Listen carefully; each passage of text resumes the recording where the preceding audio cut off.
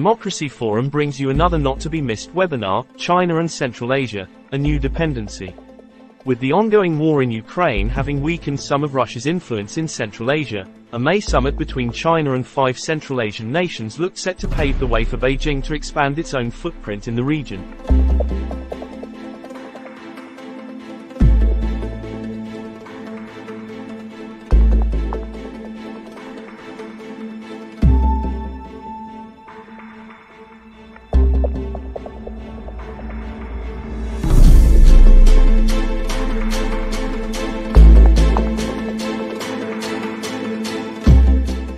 Consider these and related issues, tune into our latest debate, bringing your questions and comments.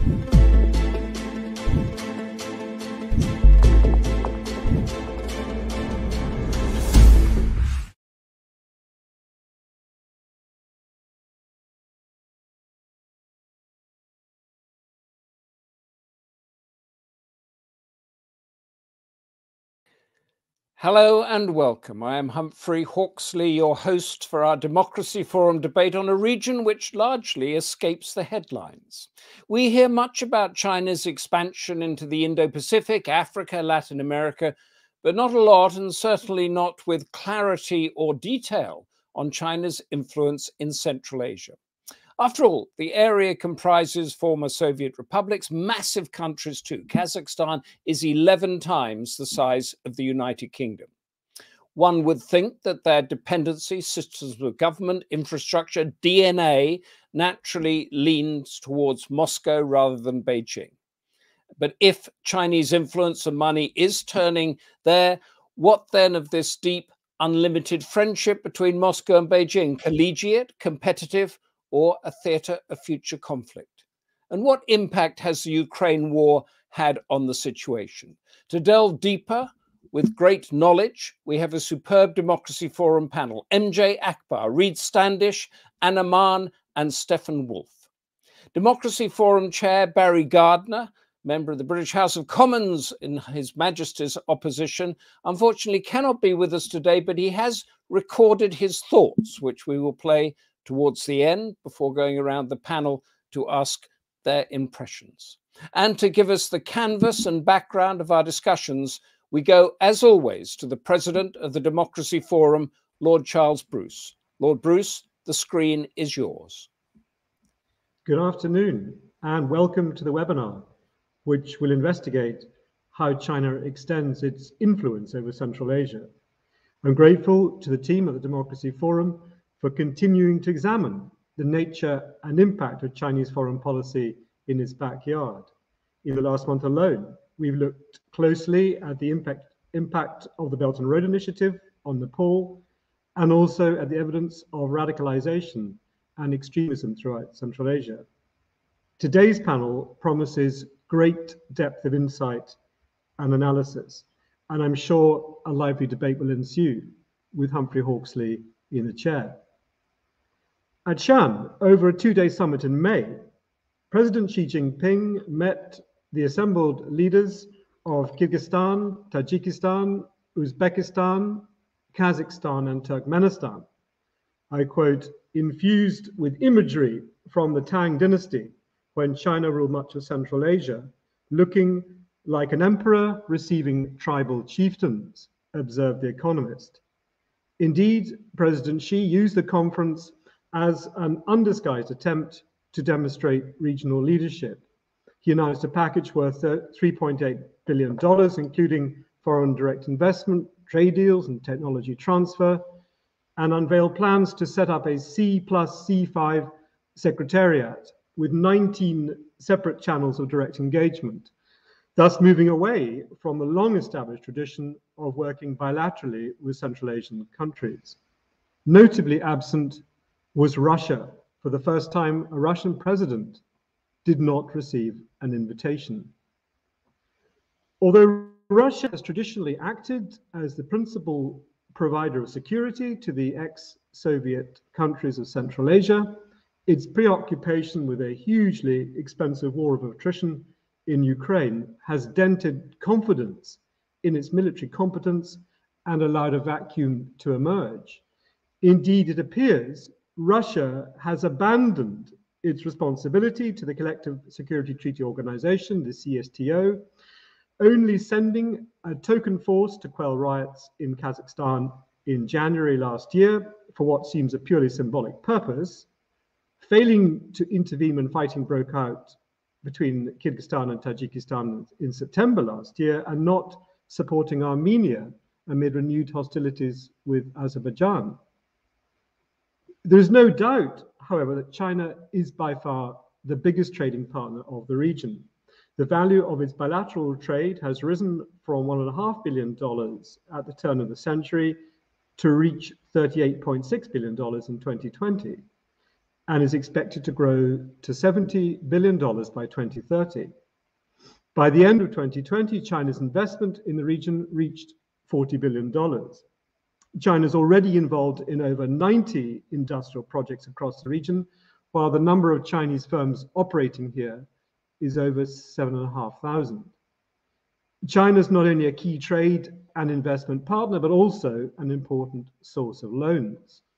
45% of Kyrgyzstan's external borrowing is from China. 52% of Tajikistan's foreign debt is owed to China. Turkmenistan owns China the equivalent of 17% of its GDP, Uzbekistan around the same. And China is also pushing ahead with technology transfer initiatives in Central Asia. 56 projects are underway in Kazakhstan and a further 40 in Kyrgyzstan.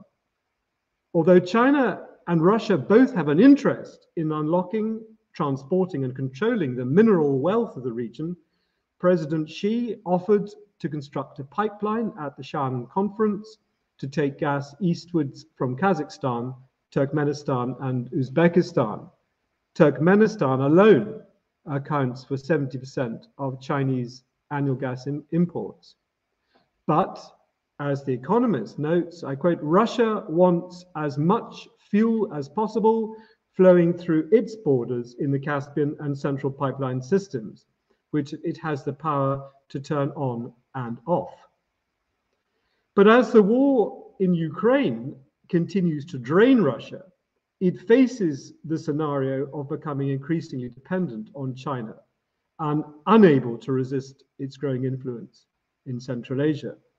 For its part, China continues to value Russia's role as a partner in challenging the United States. It has an incentive to avoid pursuing its interests in Central Asia in a way that could alienate its partner. But Central Asian countries will face severe challenges in managing the great power tensions and avoiding being drawn into these rivalries. As the saying goes, when two elephants fight, the grass gets trampled.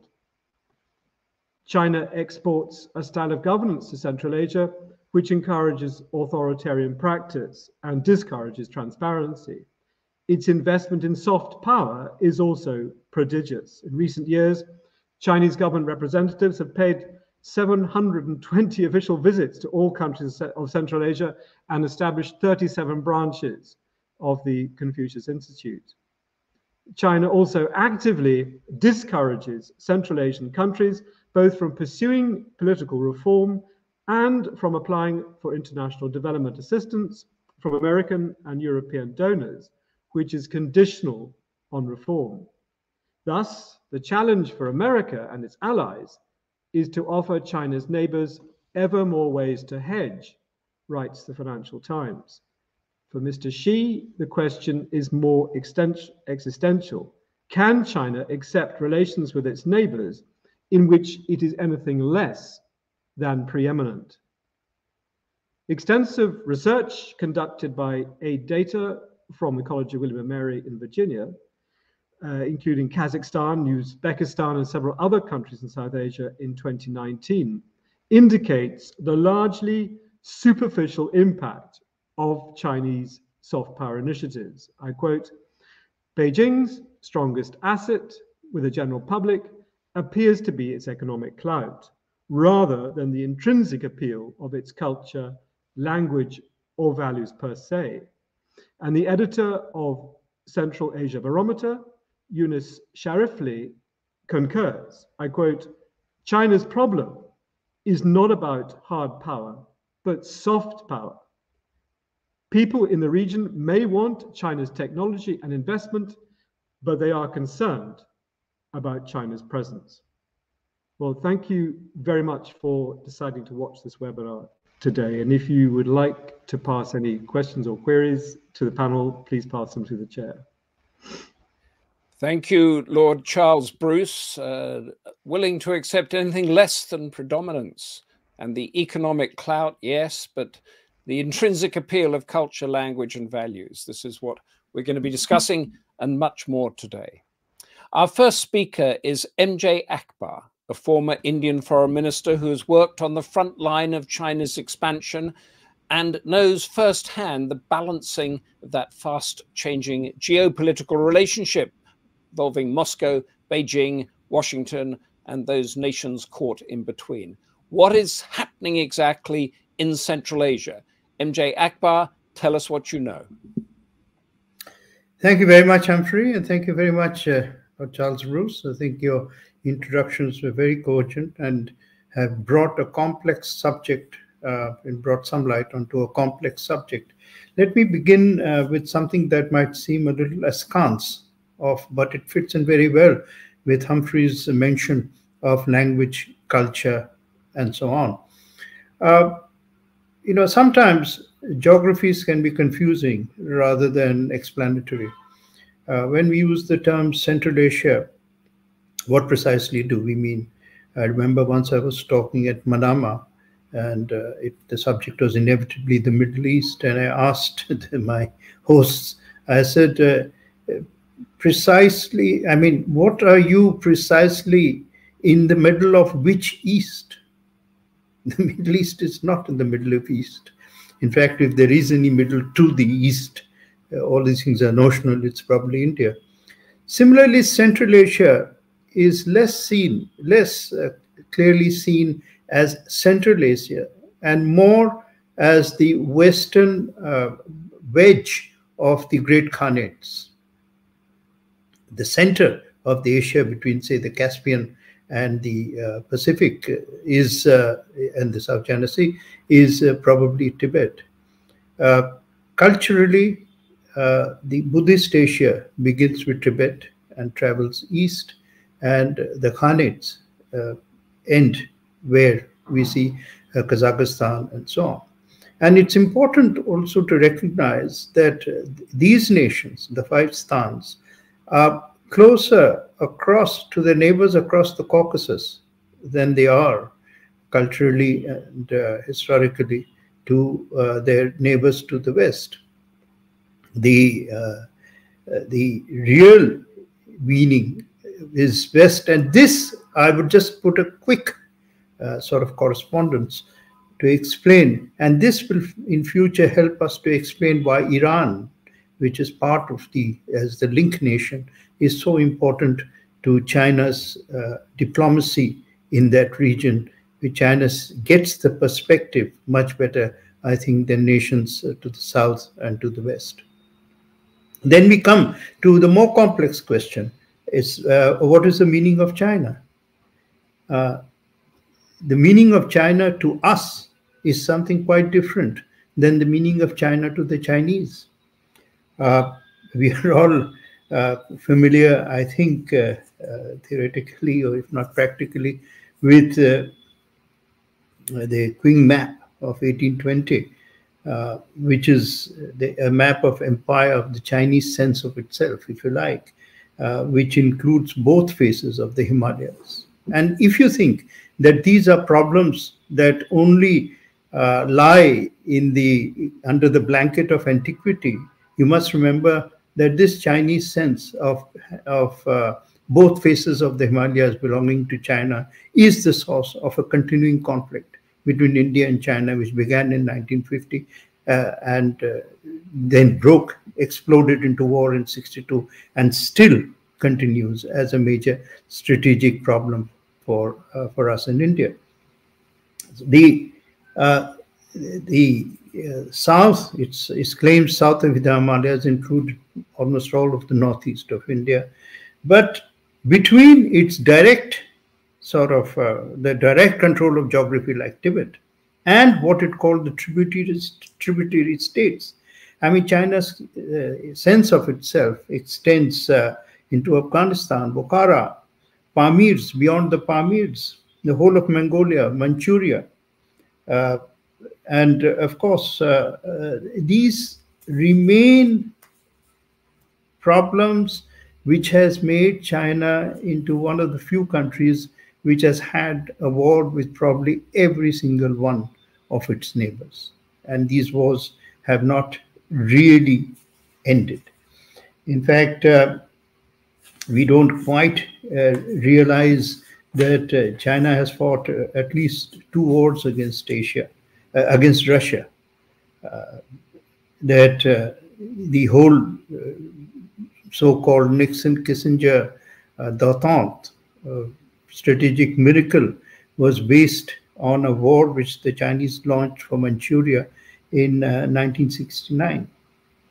And uh, uh, the, the, the Americans, Washington saw this war as an opportunity and broke through. But that that uh, sort of moment in history has exhausted itself, and now we are seeing a new China-Russia bonhomie, which has emerged not out of a uh, not out of an extension of national interest, but as a partnership against a common foe, and this common foe, of course, uh, being uh, America. The, uh, as you've mentioned, Russia's uh, military investment in uh, Ukraine, which is a trap, has uh, actually weakened Russia's ability to provide an umbrella towards the to the five stans, and the five stans is uh, are not yet, I think, in a position to exercise the kind of strategic independence uh, that they should be that they should be doing. For me, a very nodal point is 1918 as we try and understand the region, because in 1918, the end of the First World War marked what I would like to call is the beginning of the end of the age of empire and the collapse of uh, the defeat and collapse of empires after the war led to the rise of the birth of uh, the age of the nation state. And the nation state now has become the principal building block of the architecture of global civility. And uh, any attempt to, uh, to challenge the nation state leads to uh, great instability as we are seeing in the war between Russia and Ukraine. Uh, this process of uh, the process of decolonization, uh, European colonization in any serious sense began with Britain's conquest of India. And colonization could not survive Britain's defeat in India in 1947. But every one of the old empires Ottomans reinvented themselves as modern Turkey. The old Indian Mughal Empire has reinvented itself through British imperialism into different geographies. The one old empire that has not reconciled itself to the modern nation state really is China. That is why the very first thing that Mao did uh, was to take Tibet. Now, Mao's uh, conquest of Tibet was the one thing which was in common between him and Chiang. Because in 1938, Chiang Kai shek published this uh, old Qing map and called it the map of shame. And why would he not? Because his mentor, Sun Yat sen, in 1911, after having destroyed the last emperor, one of the few things that he inherited as a policy mission, as a policy objective, as a strategic objective was the reunification of uh, China. And this reunification of China is still sending ripples across the region and across the neighborhood. And indeed, in my view, uh, the ripples will not pause at to the south of China. They will include inevitably uh, confrontation with Russia, if not today, 10 years later, if not 10 years later, 15 years later. Why? Because Siberia has now actually possesses almost 90% of Russia's mineral resources. And uh, while Outer Manchuria may have gone back to uh, gone back to uh, the and is the inner Manchuria, the outer Manchuria still remains a bone of contention. Much of Siberia, Siberia, the old term for Siberia was Sibir. It was a Khanate. And uh, China's claims to it just lie in those uh, moldy documents of history, but which never seemed totally to disappear. Resources are going to be required. Resources mean power, and resources are what China will need in its confrontation or in its mission to become a eminent, preeminent superpower of the world. That is what China's sense of itself is and that. But in the past year, since Ukraine, we've seen some very dramatic changes, very dramatic changes.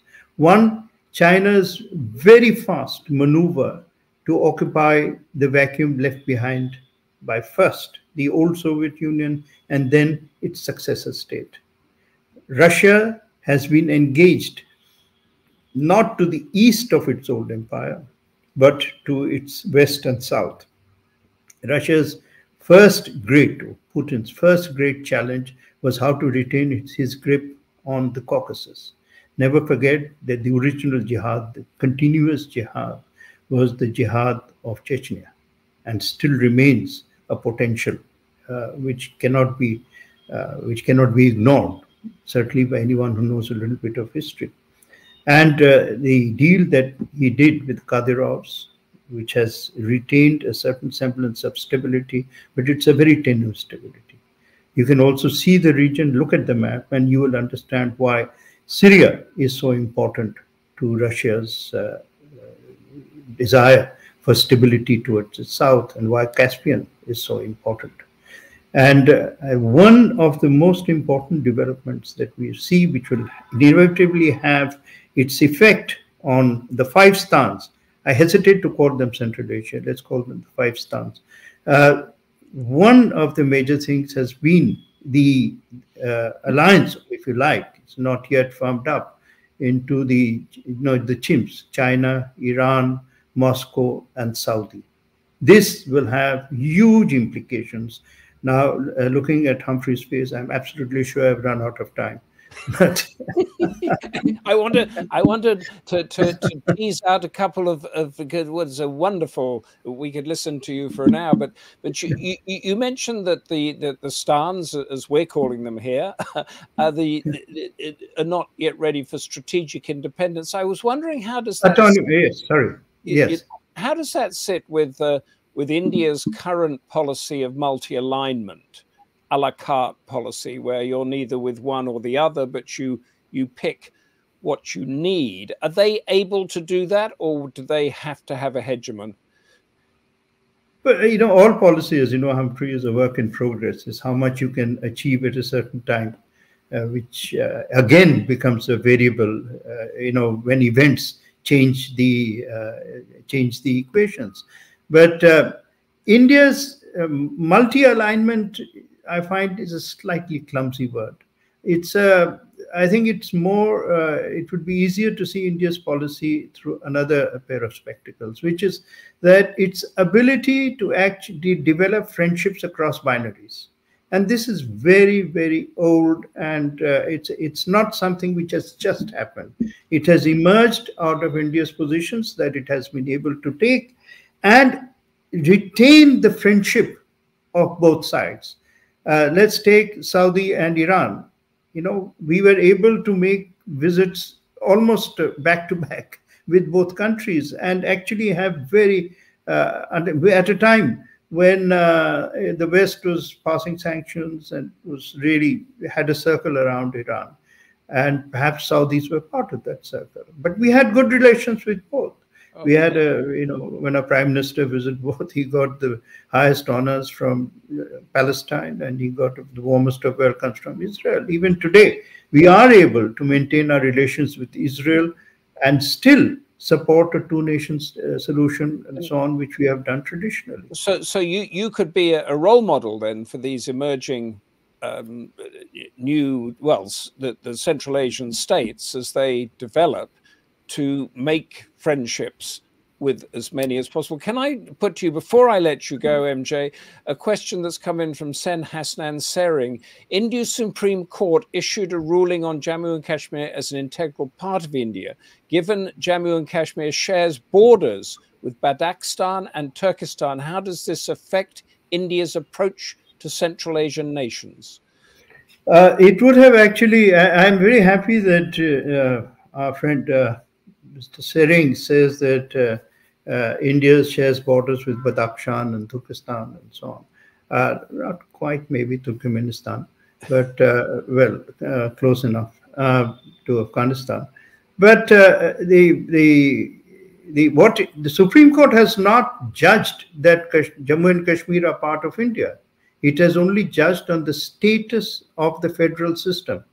India uh, Jammu and Kashmir became part of India in 1947, right, with the accession, an accession that was not only recognized but supported by Lord Mountbatten because India at that time had dominion status. And, and so on, so the, the, the, ruling that, that's come through doesn't yeah. It doesn't change anything as far it as it doesn't change anything. It's only an internal uh, federal adjustment a status which is an internal adjustment. A part of India can be a union territory, for example, uh, Daman and Diu or some part of it, or and, Pondicherry. And, and, and, other parts might be fully independent, uh, so, for, sorry, uh, fully uh, full, full, states in the federal system. And, and, and a final thought um, is that at the beginning I, I was talking about the Russia China relationship on Central Asia? Could it be collegiate, competitive, or a theatre of future conflict? You suggest that 10 to 15 years from now, it could be a theatre of future conflict. Uh, you're in fact, uh, it was your uh, uh your mention that provoked me into uh, taking up that point, because 1969 uh, will return in 2049, if not in 2039, because the national interest uh, cannot super uh, can will supersede uh, international conflicts, right? And there's too much at stake in Siberia. Yes. It isn't desert. Who was interested? Who wanted to conquer the deserts of Iran and Saudi Arabia until oil was discovered? Nobody is interested in Siberia until mineral resources were discovered. So yes. those mineral resources will be uh, back in play and they will be the source of conflict. Why did Mao Zedong order his troops to go to war against Stalin's 136,000 troops stationed there on the frozen river? MJ, thank you very much for your contribution there. Very much appreciated and setting a brilliant scene for us there. Um, stay around for as long as you can. Um, mm. Our next speaker is Reid Standish, correspondent and author of the China in Eurasia. It's a briefing note and a podcast for Radio Free Europe and Radio Liberty. He is going to examine the current upheaval in Central Asia brought about by the Ukraine war and, as we've just been hearing, where things are headed with China. Reid Standish, share your insight. Great. Thank you, uh, Humphrey. Uh, thanks for the kind introduction and thanks for inviting me, everybody, to, to participate and speak today. So I want to start and focus on what I think has been one of the most significant events in decades to shape Central Asia's relationship with China. And that's actually an event that doesn't directly involve China, which is Russia's full scale invasion of Ukraine. So, a little bit of uh, catch up here. Uh, in the aftermath of February 2022, the war triggered a tougher than expected Western response that brought a series of political and economic knock on effects that have been reshaping Central Asia's relationship with Russia, Russia, which, of course, has been the dominant external player uh, in the region. Um, for Central Asian countries, I think watching Moscow's moves on Ukraine, that was a very clear signal to the region about how the Kremlin views sovereignty and territorial integrity, especially when it comes to countries that were part of the Soviet Union. This is not something that's necessarily new as a concern for Central Asia, um, but I think watching this happen uh, on the scale that it has, um, that really crystallized things, and I think represents something of a point of no return for Central Asian states. Uh, this led to some early episodes in 2022, uh, such as Kazakhstan and Uzbekistan sending humanitarian aid to Ukraine, which definitely uh, ruffled some feathers in Moscow. Uh, there you saw some rhetorical sparring and some public events uh, between Putin and Kazakh President Tokayev in a few instances. Um, and then we've also seen Central Asia really branch out and step more into the diplomatic spotlight, or perhaps more that there is a diplomatic spotlight searching for Central Asia um, more now than ever as the region's looking to perhaps balance itself a lot more with Russia. We had a historic summit in September with the Central Asian leaders and President Biden in New York. Uh, there's been stepped up engagement with Turkey, India, countries in the Middle East. And then we've also seen uh, enhanced dialogue and discussions happening with Central Asian states and the EU um, and also with with larger EU players like Germany and France as well. Um, but China, I think, is really the noticeably growing factor here. Xi chose Kazakhstan as his first stop after ending his COVID era isolation uh, on international travel. And you know the message from that flashy China Central Asia summit in May that uh, has been mentioned before is really that Beijing's entered into a new era here in the region. Uh, on the economic front, uh, the Russian economy was already on a downward trend.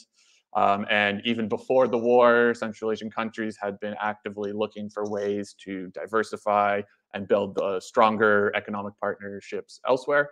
Um, and China has really was the leader on that front before the war, and it looks like it's destined to follow down that track um, in the future. So I would say, you know, like with the political arena, the war, in a sense, has really been kerosene on those trends, on the fire of the trends that were already burning uh, in the region. But having said all of this, um, you know, does that actually mean that China is going up, Russia, and, and that it's happening at Russia's expense? Uh, my answer to that would be not really. Um, and especially in my role as a journalist covering China in the region, I think the truth about China's trajectory and its relationship with Central Asia is far more complicated and nuanced than just seeing it in this way. So on on that front, I you know say that I think there's three general points to make that I think better explain this. The first is understanding what Russia's role in the region is um, after the war. So yes, Russia's reputation it's damaged. Its brand is very much seen as toxic um, and probably will never recover within the region, both on the personal, like on the you know everyday person level, and also at the governmental level. Um, but I don't really think that means that Russia's assets in the region are set to disappear. Russian intelligence services are firmly embedded everywhere there. Um, they continue to be very active, and Russia also has a very deep understanding of the region and especially its domestic politics that, from everything I've ever heard and ever seen, the Chinese do not. Um, I think the way that if we look in the last couple of years since the invasion, the way that Central Asia has been this key transit ground for the flow of dual use goods that support Russia's war effort is a very good example of this. Um, ensuring this flow of goods um, has been a key task for Russia's security services. Um, and Central Asia is perhaps one of the key regions that have been, uh, things have been getting funneled through. So we've seen the spikes are coming from Europe, the Middle East, and also a lot of goods coming from China through Central Asia, um, and then often disappearing off trade logs and, and winding up in Russia. And these have been things for you know recreational drones, cars and trucks, or even more seemingly mundane things like ball bearings, which are really integral for you know maintaining a lot of military hardware. So something like this, I don't think really can happen without the knowledge and to some degree, some participation of you know elements of regional governments. Um, so I think, despite all of those concerns, Central Asia isn't exactly tilting away from Moscow um, in some very dramatic fashion. I would say, if anything, you know, we're seeing Russia is certainly weaker than it has been, and maybe that's leading to a bit more parity. Um, and the Central Asians are using this kind of new balancing act to find new opportunities, and some of which still include Russia. So again, I don't think we should avoid this kind of idea that the Central Asian governments are, you know, pawns on some great chessboard or something like that. Um, and instead, we should be seeing them as independent actors that have very strong agency in what they're doing and how they're navigating all of this. Uh, the second point I'd say is looking at uh, Xi and Putin and Beijing's relationship with Moscow, which is really important for understanding this moment that we're in. So Xi and Putin, they've been building up their relationship for years, um, and everything we've seen um, amid the war, it looks like it's getting stronger. So I think if you're a Central Asian government right now, that raises some very complicated questions as you're looking. Okay, we're getting building a stronger relationship with the Chinese, but given China's relationship with Russia, can can Russia really be, or sorry, can China really be that that pillar to balance off of um, in the way that perhaps it was a decade ago or more? Um, so China is already and will become an even greater source of trade and investment. But you know, can we say that Xi really has any incentive to do anything that would really ruffle the Kremlin's feathers in Central Asia? Um, I think um, a good view and something that illustrates this is if we look at uh, the Belt and Road Forum in October in Beijing. Uh, there was this, the scenes we saw of how Xi entered the Great Hall with all the world leaders. It was Xi coming through those ornate doors. Uh, side by side, close to him was Putin. And then several steps back, we saw the Central Asian leaders and, and leaders from, from other countries who were there. So I think that gives us a snapshot. Um, and I think the third point would be we need to talk about what uh, China actually wants from Central Asia. So yes, Beijing, if we look at security, you know, they have interest there. It relates a lot to Xinjiang. And if we look at some of the Central Asian states that share a direct border with China, such as Tajikistan, there's been steps taken to address those concerns there, whether it's been about enhanced police training, building more security infrastructure, renovating and operating border posts, and even some small bases. But really, China's interests, they're much more about business and they're about creating more access for its companies in the region. It's very much about integrating Central Asia into its architecture of the future, and perhaps you could say of the Chinese world order that China is perhaps trying to build right now. So there may be some big infrastructure projects. There's a lot that's already on the books. Um, I think we need to be a little scrutinized if all of those are actually going to come to fruition. Um, but there's a lot being done in terms of physical infrastructure wise. But I think the economic ties are certainly entering a new phase. You know, when we look at the summit, or sorry, when we look at the summit that happened in Xi'an in May, uh, most of those deals were about setting up new contracts with Chinese companies. And also, I think an interesting point is a lot of those Chinese companies are also ones that are based in Xinjiang, the Chinese province that historically has links with Central Asia and is also right next door and borders a lot of Central Asian countries. Um, and it's been focused in things, especially about building up things like uh, solar power, hydropower, which are areas where Chinese firms and where China as a whole are already is a leader or is positioning itself to be a big leader. And there are also things that will be big parts of the future economy, you know, 10, 20 or longer down the road, uh, years down the road. So I think that's a big area to watch. Um, I think especially in Kazakhstan and Kyrgyzstan. Um, and then I think that also would extend to things like telecoms, networks, and things like that. Really, the the economic tools of tomorrow is really what China is trying to lay those foundations right now through a lot of the region. Um, and so they're much more interested in perhaps a, a perhaps more of a slow boil kind of integration um, on the economic front rather than I think taking on the security mantle from Russia. I don't think that that's something that the Chinese really have much of an ambition to do. Um, and all of that, I would say, is also uh, part of the wider picture. And I think that's a sign of the kind of superpower that uh, China really wants to try to be. So uh, maybe I will leave things there uh, for now. Um, I know there's a lot to unpack there, but um, very curious for any questions or things like that. Uh, that thank you. That's uh, so on those um, it, what was a collegiate, competitive, or conflict. You are of the collegiate view at the moment in in the near term. Are you? Uh, I mean, is that right? Would you say that? Yeah, I, I mean, to a degree. Um, I mean, I think part of it is just. I mean, I, have been I've spent time reporting in the region. I've been an observer of it for a long, time. Um, I would say if we had this uh, panel just a few years ago, probably my answer would be very different. But I really think we've seen we've we've really drifted uh, quite a lot in the last couple of years, especially if you look at what that relationship is like between Russia and, and, and have and it, have China and Russia got any agreement on on on this of who has what influence where or expanding where, or is it just a general understanding? Um, I, I mean, there's there's there isn't you know some big formal division of power. I mean, the the the term that often has been thrown around is you know Russia is the gun, China is the bank. Um, and that's that's how it's been described to me as the kind of informal uh, talks, you know, that happen at the higher mm-hmm. levels, and that's how things are seen. Um, but I think, especially, you know, like it, I think it's just important to talk about this that that balance of power between Russia and China. You know, it's changing quite a lot. So, you know, like was was being said just before I came on. I mean, I think yes, like big questions what happens after Xi and Putin. I think this what we're seeing right now is very much a personal product rather than say a big strategic product.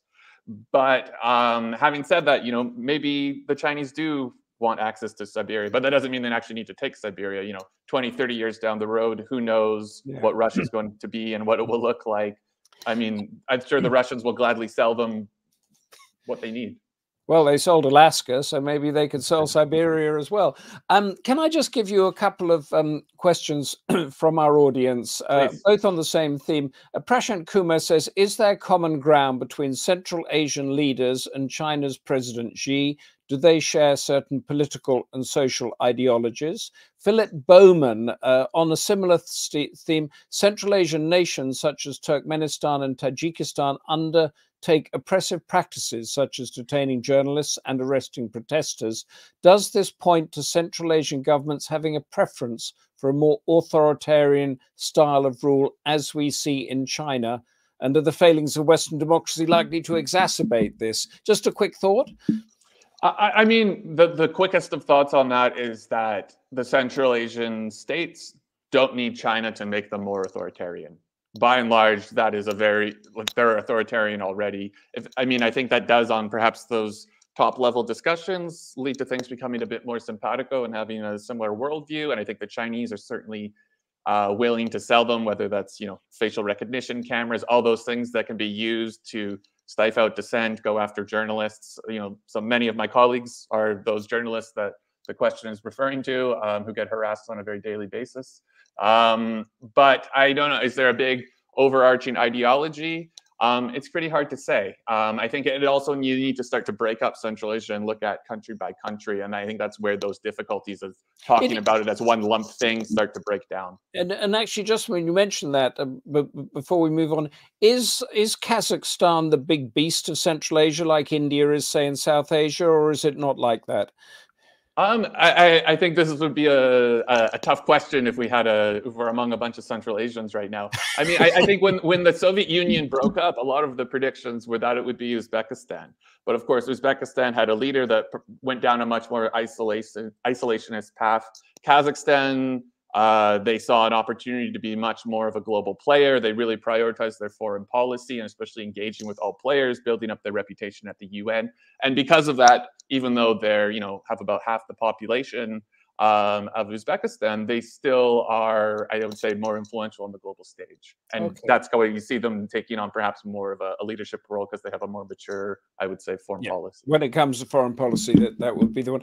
Thank you, Reid Standish, very much for that. Stay with us because we're going to come back to you for your insight. But we go now to Anna Mahon, Security Studies at Aberystwyth University, a specialist in shaping policies within illiberal regimes such as Russia and Central Asia. Exactly what we're talking about. She is also the founder of UnlimitedPolitics.com, which analyzes exactly what we're debating today. So check that out and sign up to it. Uh, she is going to give us the perception of Chinese influence in Central Asia and argue that China might need to reconsider its approach, given exactly what is unfolding in Russia, and also the prompted increased interest from the West. Anna Mahon, what is your argument? Thank you very much, Humphrey, for such a wonderful introduction.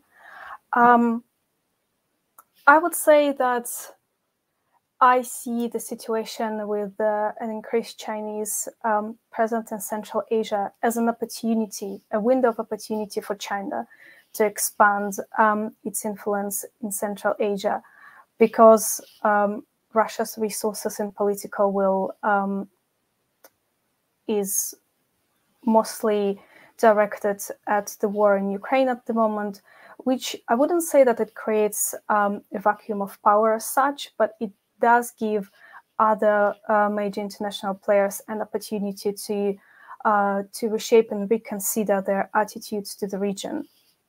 However, I believe that Russia pulling out of Central Asia a little bit and paying more attention um, to Ukraine doesn't automatically mean that China um, is going to succeed and feel that opening um, just because it needs to overcome some um, pretty well known existing um, trends in the region that might become obstacles um, for um, for Chinese expansion.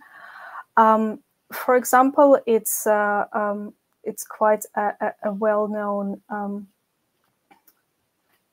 preconception in the region that um, there is a disparity between how the elites see um, the Chinese influence in the region and how uh, the general public sees and perceives and understands what's what's happening with Chinese expansion in the region. As it can be seen, for example, in Kazakhstan with the land reform, um, which was a proposal by the government uh, to sell and lease land in Kazakhstan to foreigners. Uh, that caused um, huge protests and uh, Tokayev, uh, president of Kazakhstan, um, signed a bill prohibiting that in 2021, uh, kind of putting that, um, putting an end to that.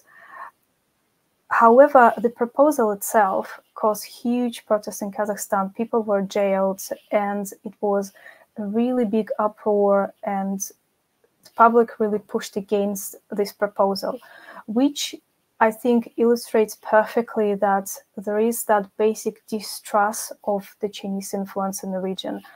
And while thinking about expanding its influence, China really needs to find that um, fine balance, to find a way to um, to present itself in the region in a way that it wouldn't cause um, extra domestic pro- problems for the Central Asian countries because that would greatly um, slow potential cooperation between China, um, China and the Central Asian countries.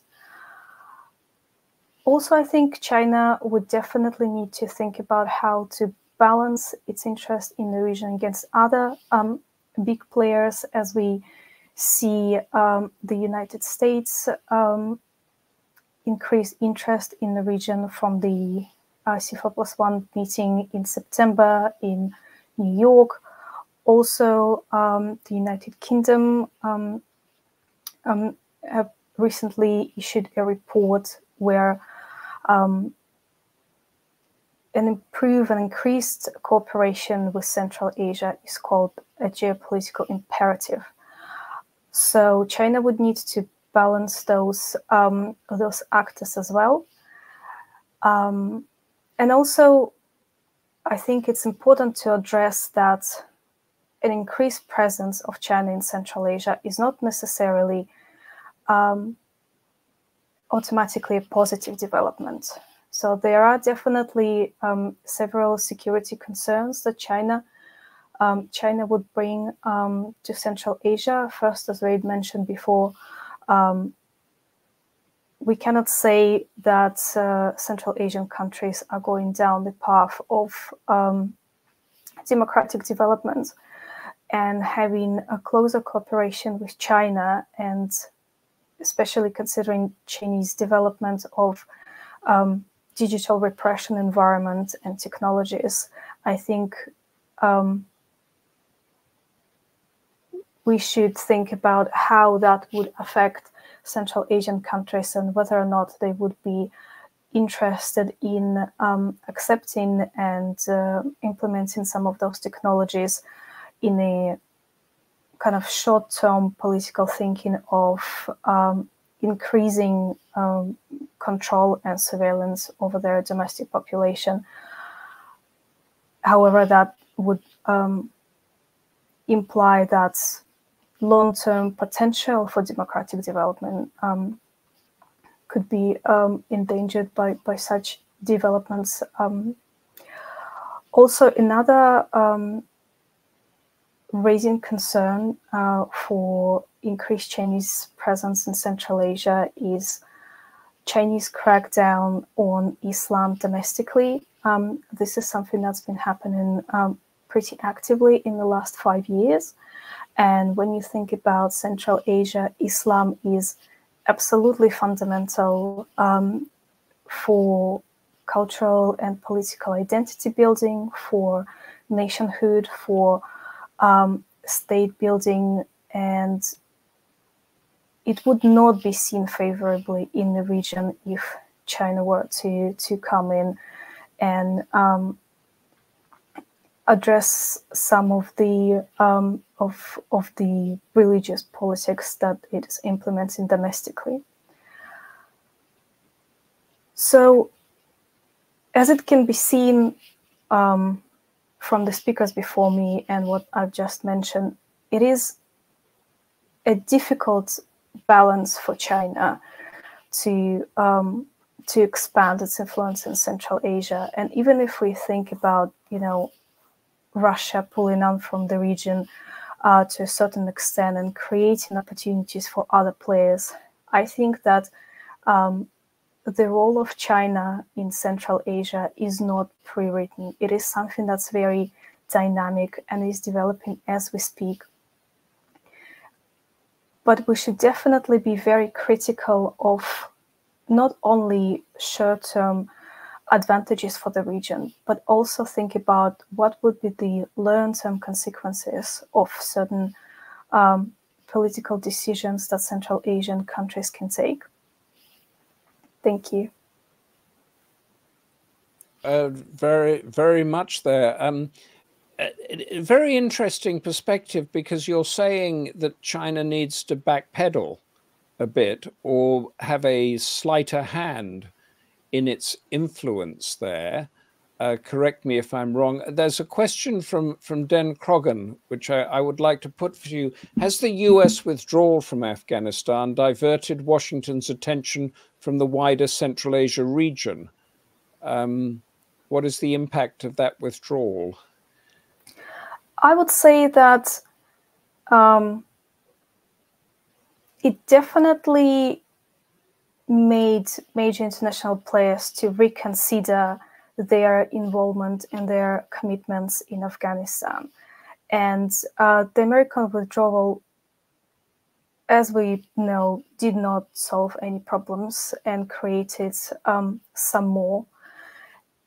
However, it could be uh, an opportunity for other international players to to jump in and um, and create new frameworks and provide both political and military um, support uh, to the Afghanistan problem.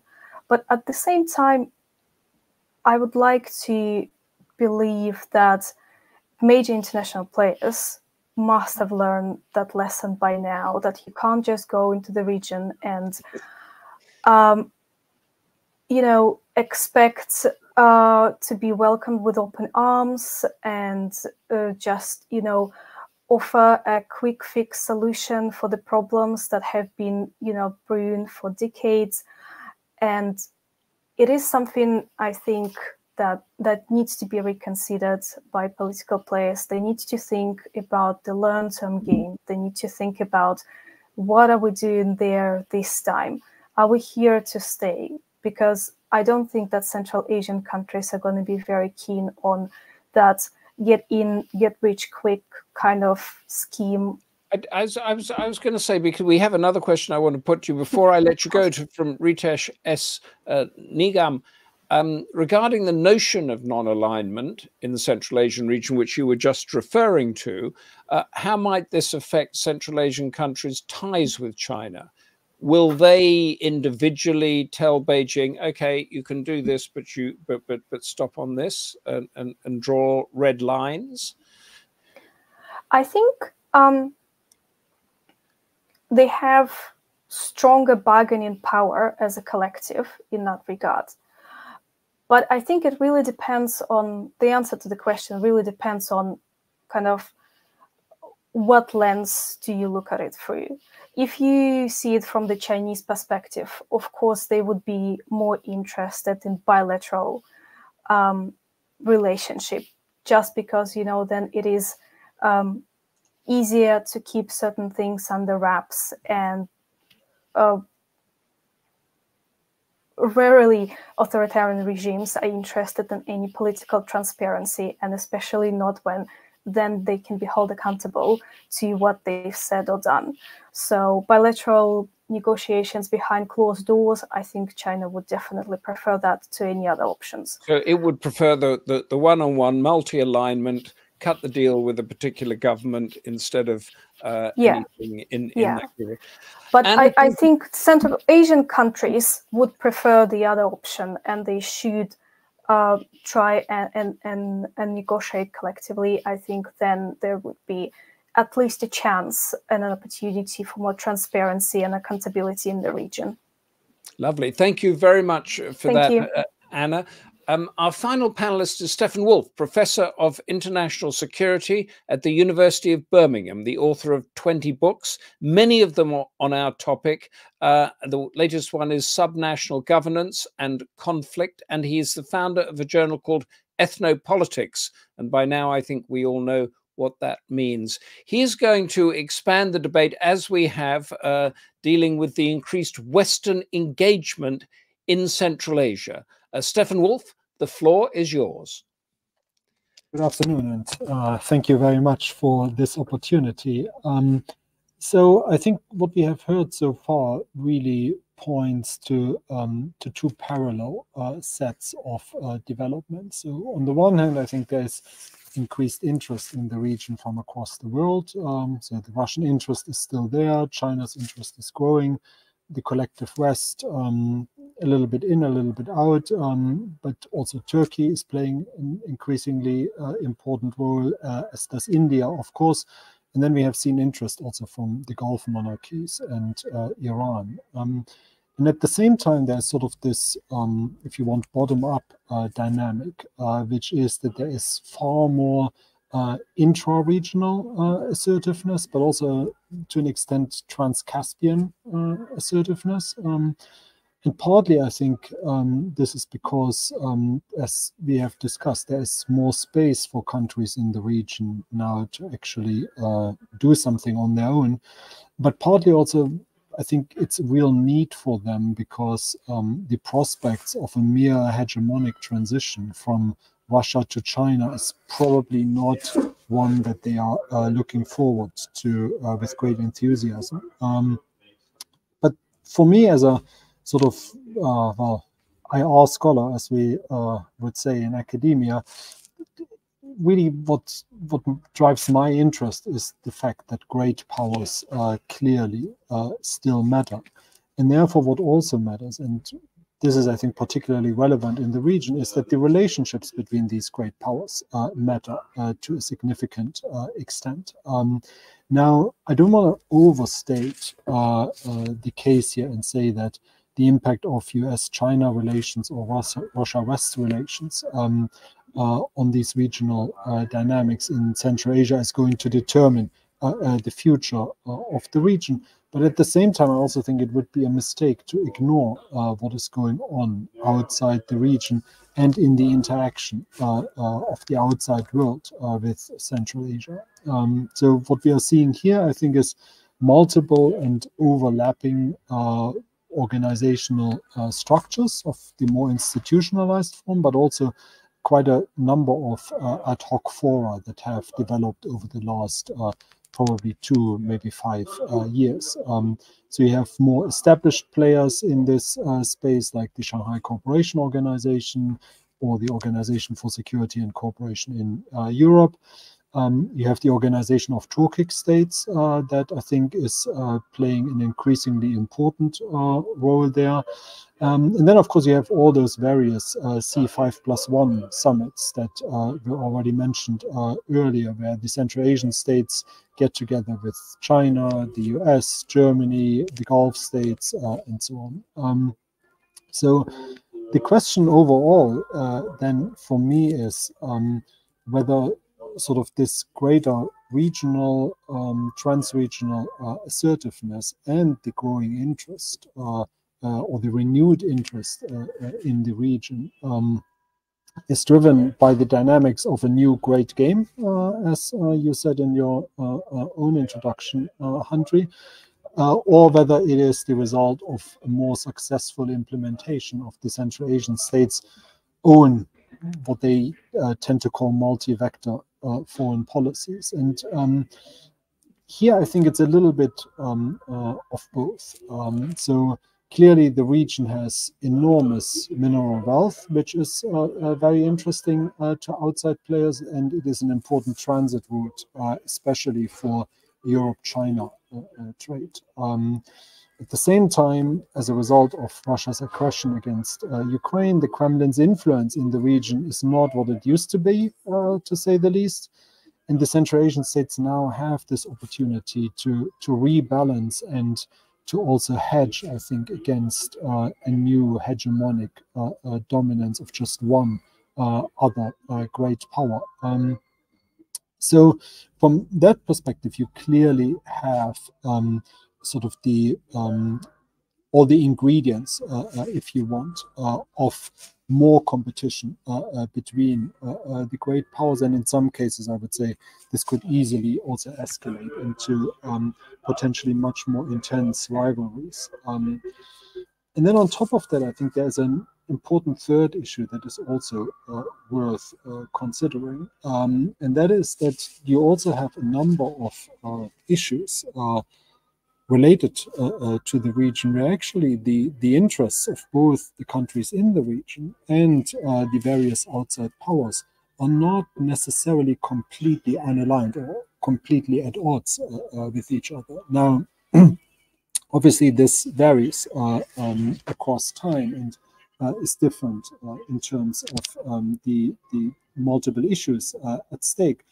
But If you just think, for example, that there is um, I would say, a common desire uh, uh, among all the players that we have considered uh, so far to contain spillover threats from the ongoing crisis in Afghanistan, for example, whether these are related uh, to violent extremism, uh, to terrorism, uh, drugs trafficking, weapons trafficking, and so on and so forth. Um, then I think there is a clear recognition, at least of the fact and the need to manage risks that are associated with the impact of climate change. And here I think all the evidence is there that uh, Central Asia uh, and the countries and uh, people living there will be massively affected uh, uh, over the next uh, few decades by the consequences of climate change. And that means that there are some very real issues here about water scarcity. And again, um, after well, almost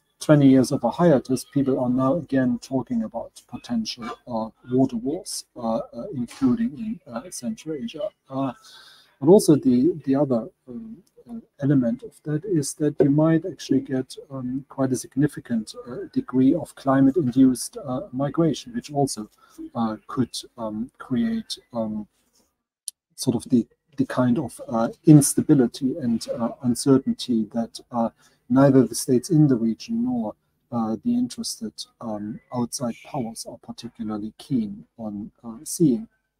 So, um, in that sense, um, what you then finally also have is, um, of course, um, a shared priority, I think, across most um, of the states in the region and clearly some of the uh, outside players are the uh, priority to prevent instability uh, across the region from disrupting uh, trade and uh, supply chains. And that already is, is an issue, obviously, with the um, uh, conflict in uh, Ukraine, with Russia's aggression uh, uh, against Ukraine, with the disruption of the northern trade corridor, now the increasing importance of the, of the middle corridor that um, has been discussed now for, for some time, and now we have a report from the from the World Bank that actually seems to give uh, some credibility uh, for the for some of the optimism, at least that that this could turn into something uh, uh real.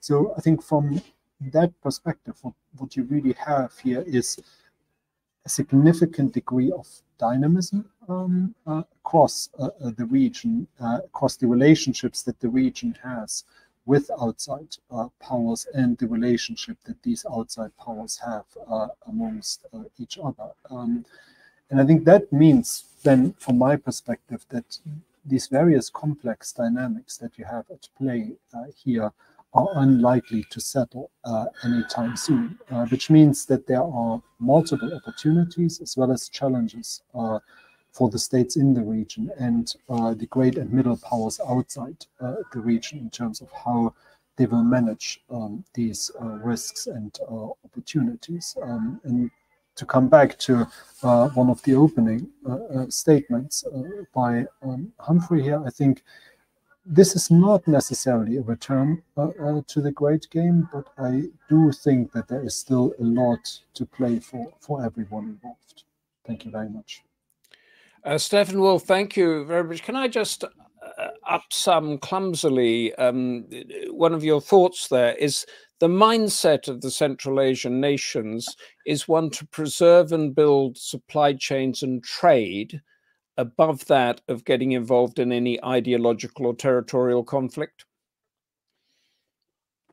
Well, I, I think there is definitely um, uh, a recognized urgency that um, some of the problems that uh, the Central Asian states have had is that they are very poorly connected to the to the global economy, and that they are really, I mean, um, uh, you can look at it as a as a landlocked uh, uh, uh region in a sense, which which I think it is, and that has always been uh, a problem. So, in, in the same way in which uh, China is looking for multiple um, trade routes uh, uh to to Europe, um, uh, uh, particularly, I think, in the same way, I think Central Asian states now have an opportunity actually to create multiple connections um, with the global economy, but also as a result of doing that, uh, become better connected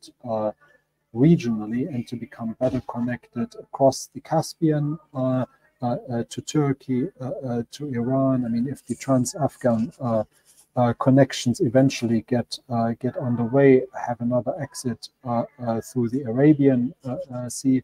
So I think all of that is a key issue for them.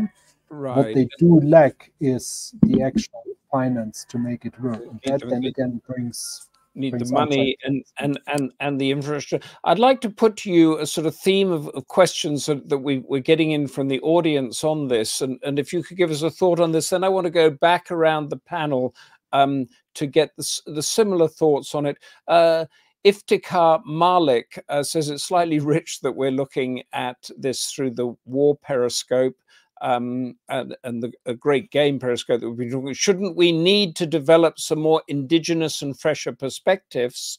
And anand singh Tuma says what are the opportunities for central asian countries? You've just touched on this stefan to cooperate in trade and other areas with foreign actors besides china.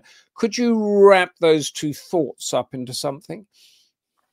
Absolutely. I i, I completely agree that i mean um, it is ultimately um, or should ultimately be for the Central Asian states to be in a position where they can determine their own relationships with each other and with the outside uh, uh, world, whether that's near neighbors or far neighbors. Um, but then at the same time, I think we have to be realistic here that this is not necessarily how the world works. Um, we do have um, great powers. Great powers have interests, and great powers very often also have the capabilities uh, to implement their interests or at least to frustrate the implementation of others' interests. And I think that is the danger that that we are seeing here, that there is too much is made of the um, differences, uh, the divergence of interest, and I think not enough necessarily is made of the uh, opportunities to actually find ways in which,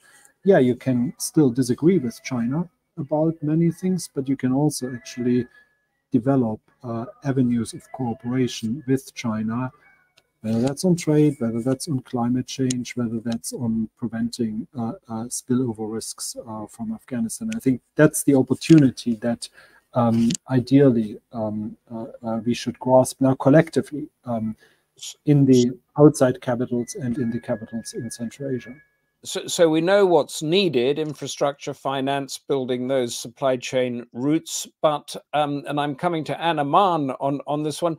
But uh, the big powers might intervene, whether that's be Russia, China, or the Western powers. Anna, your thoughts? Absolutely.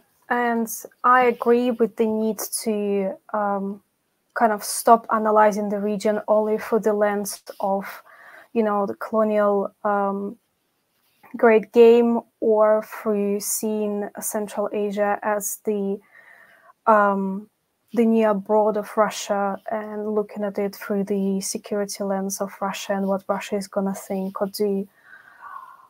But how at the same how time, would you sum up the sorry to interrupt. How would you sum up what uh, what Iftikhar Malik said for a fresher perspective? What would your fresher perspective be?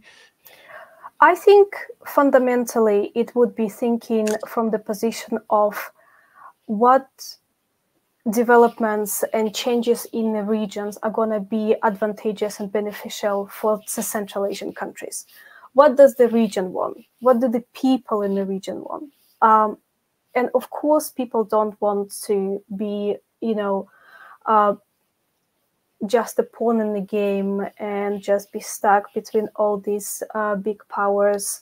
Everyone wanting something from the region, and it's usually resources.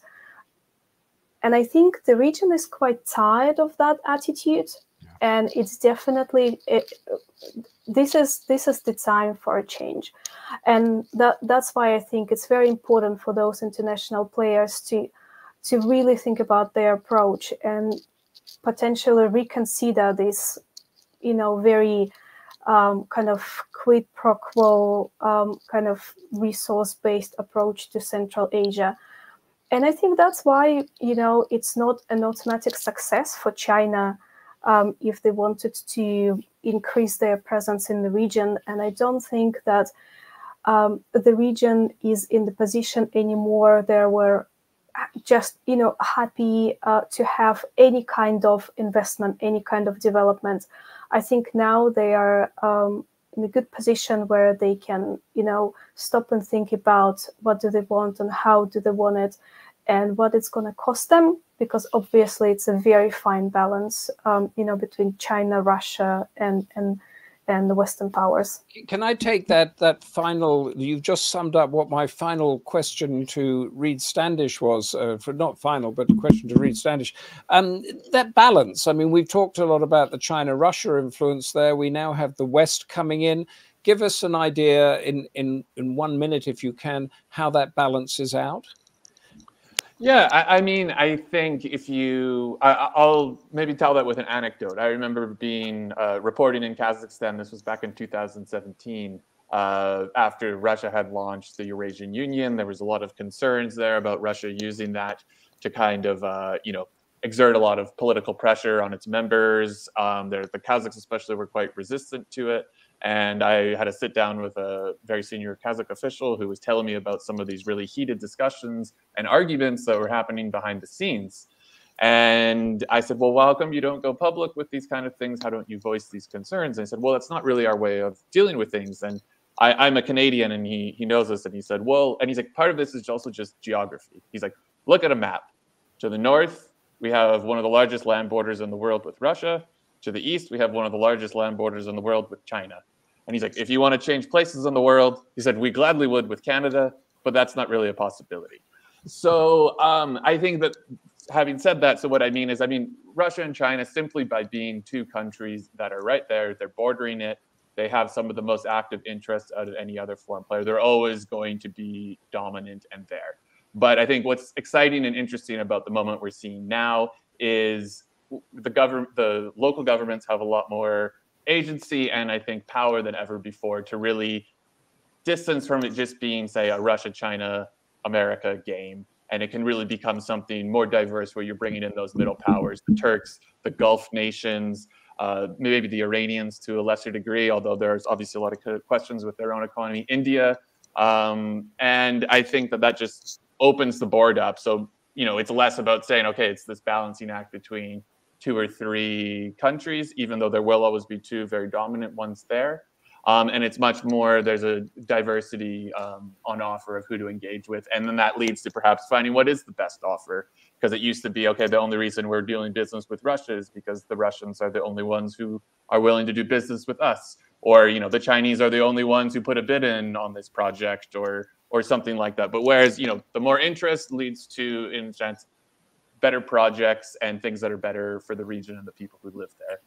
Thank, thank, thank you, Rita. I want us to hold those thoughts because I, am going to come back to everybody with a with a short, sharp uh, conclusion in a minute. But the moment we need to go to Barry Gardiner, who is the chair of Democracy Forum, and he's recorded uh, his thoughts on this issue. In their recent article entitled The New Great Game Continued, Anastasia Mahon and Stefan Wolff point out that 10 years on from President Xi's visit to Astana to launch the Belt and Road Initiative in Central Asia, some fearful symmetries saw President Biden as the plus one at the first ever C5 plus one presidential summit held during the 78th session of the United Nations General Assembly in New York. Now, if you were to ask John Kerry why he'd set up the C5 plus one back in 2015, the answer almost certainly would have been regional security, economic development, and political stability in Central Asia. The raw truth is, it's seen as a way for the US containment policy to reduce Russian influence in the region and to counteract the growing presence of China. Of course, the United States is coming from a long way behind, as Russia had its Central Asia summit last year, and China has seen an increasing has seen itself as an increasingly important player in the region for some time. Mahon and Wolff say that president level meetings between Xi and his Central Asian counterparts are almost routine. Certainly, the first C5 plus China presidential happened four months before the New York meeting and managed to produce a much more substantive list of achievements, including 54 agreements and 19 new cooperation mechanisms, as well as the Xi'an Declaration. Mahon argues that Russia and China have a common interest in keeping the United States out of their backyard, but actually, it goes farther than that. The C5 are the perfect trade route to undermine Western sanctions against Russia by providing a route for the re-exporting of Chinese goods to Russia. China, whilst maintaining its public stance of neutrality towards Russia's war in Ukraine, is benefiting both in trade terms from its willingness to quietly provide support to Moscow, but also by emerging as the senior partner in the Sino-Russian relationship. Captain Joey Ching, in his article assessing what China will learn from the Russian Ukraine crisis, posits that China is carefully watching how the US responds to the Russia Ukraine crisis to guide future efforts in three ways diplomatic, informatic, and economic. Diplomatically, China will determine the strength of US resolve to support Ukraine, as it may indicate the US level of commitment to the defense of overseas allies such as Taiwan. He suggests that the strength and unity of NATO's response will signal to China where the weaknesses in the Western alliance lie, and China will look to exploit those where it can and sow division. China will work alongside Russia to use information warfare to undermine US strategic messaging and create an information environment that increases the chances of miscalculation by the US. Economically, China will use Central Asia to circumvent US sanctions and reduce the overall impact on Russia's economy. So the Ukraine war is a diplomatic and economic opportunity to develop closer relations with Russia and grow China's influence in the global market. The five Central Asian states have opted to maintain a neutral stance over Russia's war in Ukraine, carefully refusing either to offer support or criticism and remaining neutral, like China, in the three General Assembly votes that have condemned Russia and called for withdrawal of Russian troops. They have also steadfastly resisted implementing Western sanctions. However, Russia's incompetence in prosecuting their war and the recent failure of Russian peacekeepers to act in Nagorno Karabakh have reduced the region's confidence in Russia as a security partner. In March this year, the European Bank for Reconstruction and Development exposed the way that trade flows have been redirected through Central Asia in order to evade sanctions against Russia. And the House of Commons Select Committee last month pointed out that the kleptocratic nature of the Central Asian governments and the deep economic ties between the countries makes addressing the circumvention of sanctions more intractable. In his recent article, MJ Akbar points out that Ukraine has become a European war with Asian consequences, and he speaks of America's two objectives to bolster the concept of the nation state as the building block of global stability and oppose any transgression of borders that might legitimize unilateral expansion. The second, to weaken Russia in Europe, he says, is a strategic fallacy. With characteristic wit and turn of phrase, he points out, you cannot weaken Russia where it is not strong. Russia lost Europe with the Soviet collapse in 1991. The Kremlin is now in the paradoxical position of being a nuclear superpower without being a regional power. Russia can still destroy the world in five minutes. Ukraine, not quite so quickly. Well, I take my hat off to Akbar for that masterclass in point perfect articulation of geopolitical reality.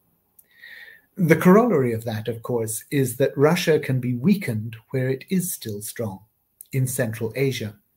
He points out that eight of its 10 time zones and 77% of its territory are in Asia, and says Moscow holds the Muslim North Caucasus in a tight grip, whilst in Central Asia, it has re-established degrees of influence through patient diplomacy and variable military presence.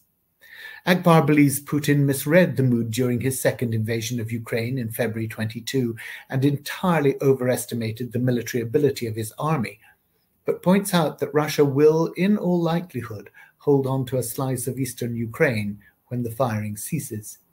The price he will pay, though, is not just in blood, it is in the reputation of the Russian army. Again, Akbar sums it up pithily. Invincible it is not, and the neighborhood is doing the math. Central Asian leaders have taken notice, and China has taken advantage. President Xi Jinping hosted the second China led Central Asia Summit in May this year in Xi'an, capital of the Han Dynasty, for 400 years from 206 BC. He called the conference the highlight of China's diplomatic calendar in 2023. One fact is obvious. The only nation which can fill the vacuum left by Russia's retreat is China. Uh, thank you, Barry, for that. I want to go back around the panel with my thoughts from that and of the of, the things if we can do very quickly. I, am concluding that we don't think that china is a new dependency um, but my question really is uh, given that the, the sort of situation there would the west be wiser to just let things naturally evolve in central asia rather than see it as an area of threat created by russia or china? Um, uh, Stefan Wolff Is Stefan with us? Uh, Anna Mahon, I can see you're still there. Could I'm still tackle, here. Tackle that one for us. um, of Should course. alone. I think that it's fair to say that the Western powers have already tried that approach and it didn't really work out the way that they expected it to. You mean And the I- approach of leaving it alone? Yeah. Okay. and and i think it's time to to build some new lasting partnership and friendship and you can only do that by being a committed friend to the region and i think it's very important to to see whatever actions or commitments um, western powers want to make it's important to see that as something that they would need to uh, sustain over a longer period of time And uh, gi- give us an example of a commitment. Um, for example, if they were to commit to, um, for example, as a common ground between China, Russia, and and Western um, interests, we could see some um, climate change um, projects, and especially investing in um, green economy. So, for example, if there was to be a big project in Central Asia, it needs to be more than just you know a one-time investment you know we go there for two weeks and work on that and then everyone is out and you know um, Okay. how how central asian you know engineers are gonna be working with that or um, you know developing infrastructure or supporting that i think a lot of new thinking about Central Asia needs to be around, you know, we go in, we do some projects, and we stay for as long as we are needed for educational purposes, for supporting the infrastructure, for developing it, to really help those nations to build up their capabilities and capacities. And and, and let so, sorry and, and, and let them know that they don't have to choose between Russia and China or, or, or manage manage that relationship. Um, Anna, thank you so much for that. Thank you. Uh, Reid Standish, uh, would the West be wiser to let things uh, to get involved or not get involved? Um, I, I think the the history of you know if we look at the last 30 plus years since the Soviet Union collapsed, by and large the the general trend has been that the West has been quite neglectful of Central Asia, and I agree with Anna's point there that I think actually if there is a policy takeaway of it is that there's more engagement. I mean, I can say having been a reporter there, that's a lament I heard a lot from Central Asian officials, you know, saying like, hey, like we don't want to only be doing business with the Chinese or the Russians, but you know, the Brits aren't here, the Germans aren't really here. But- the but just Americans don't want to build this. Right? Can I just So- clarify? Sorry, sorry to interrupt. Not the sort of engagement that they're that, that we're seeing, say, in the Indo-Pacific with the Quad. That this is like influence engagement. Uh, is that what they're wanting? No, I, I- don't. I, I think that they want to perhaps a respect of the very difficult geopolitical situation that they find themselves in. That the idea that you would expect them to say, come out and denounce Russia publicly. I mean, I think that's a really unrealistic expectation. And I think that most Western capitals recognize that. But I think being able to have that more nuanced understanding of what the environment is, that is, say, if you're the government of Kazakhstan or Uzbekistan, that you're trying to navigate both geopolitically uh, on the global stage, regionally, domestically, all of that kind of stuff. I think a, a respect and an acknowledgement of that, Yeah. um, and knowing, you know, okay, where can we push them? You okay? We can't say, hey, don't have summits with the Chinese, or we want you to cut back on Chinese Yeah. investment. When say, you know, we live next door to the world's second largest economy, and we need to grow our economy. So this is a pretty And logical and, conclusion. and ju- just a yes or no. Uh, China a new dependency in Central Asia? Yes or no? Um, I, I, I, it's it's a tough actually for a yes or no question. In some right, respects, I would say there is an economic dependency, but I think a strategic dependency, no. Anna, yes or no? A new dependency? I would leave it as an open-ended question, to be honest with you, because I think we mm-hmm. need to see what's going to happen in Ukraine to be able to to answer that question. Okay, that, that that we are we are out of time, but thank you because we'll have to have you all back for a debate later on to answer that question. But that is it. Thank you for this fascinating and, in my view, far too little discussed issue about uh, the, the, the, complex nuances of Central Asia. Thank you, MJ Akbar, Reid Standish, Anna Mahon, and Stefan Wolff. Thank you, Lord Charles Bruce, and all the team at Democracy Forum. To get summaries of our Democracy Forum debates, uh, pick up our sister magazine, Asian Affairs. It's got a lot more uh, from across Central Asia and the Indo Pacific. Our next Democracy Forum is on January the 17th, the United Nations retaining relevance in a conflict ridden world. Let us try and debate the answer of that in a one word yes or no answer. But until then, thank you all for the stimulating, informative, and insightful discussion. Thank you for your contributions. And from me, Humphrey Hawksley, goodbye.